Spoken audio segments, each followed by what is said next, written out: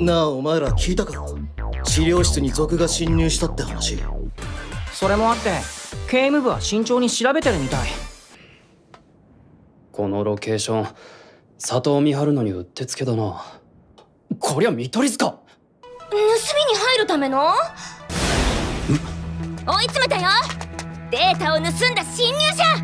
侵入者？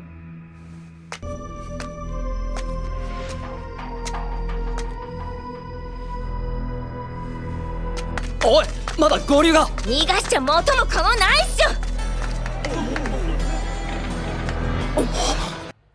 警戒中の常人たちに奴の狙いを知らせてマンホールを塞いでくれ。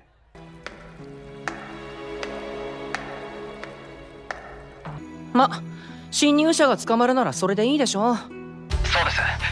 駅の中にもマンホールはあります。奴がそこを出口として使って里街に行く来車に乗られたら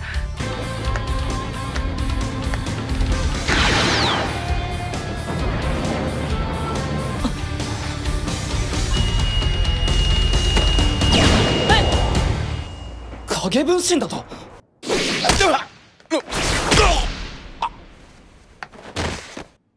あんたが狙ってるのってひょっとしてこれ？電子化されてるのは第四次任海大戦以降の忍びのデータだ。それ以前のはまだ物理的な巻物にしか入ってない。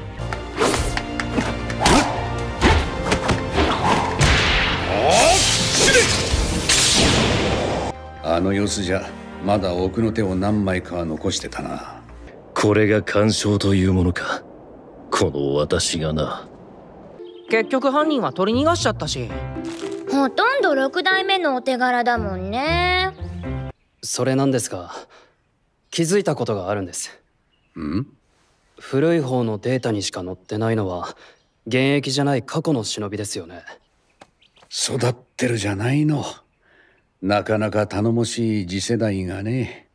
次元はこの奥でチャージ中だ。まだ10%も回復していない。